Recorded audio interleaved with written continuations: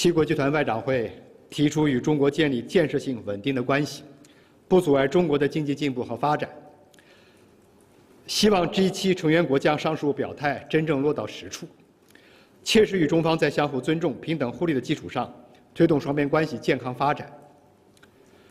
我们坚决拒绝 G7 关于中方扭曲全球经济、进行经济胁迫的无理指责，将全球一万多家实体和个人列入制裁清单，运用国家力量全面打压特定企业，将经贸问题政治化、武器化。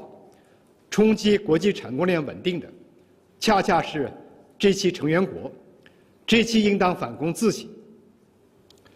我们坚决反对 G7 损害中国主权、干涉中国内政的错误行径。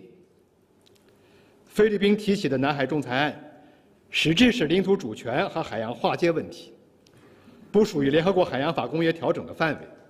有关裁决是非法的、无效的，没有任何拘束力。这些拿南海仲裁案说事，挑动对立对抗，同地区国家维护地区和平稳定的意愿背道而驰。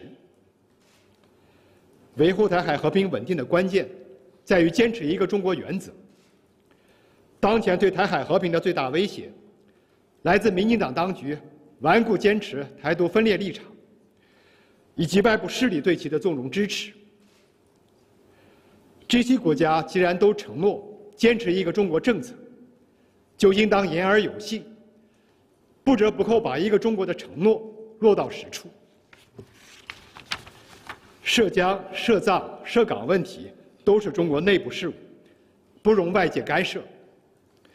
各国民主人权状况到底如何？各国人民最有发言权，世界人民的眼睛也是雪亮的。我们敦促 G7。遵守联合国宪章宗旨和原则，以及国际关系基本准则，管好自己的事情，停止以任何借口和名义干涉别国内政。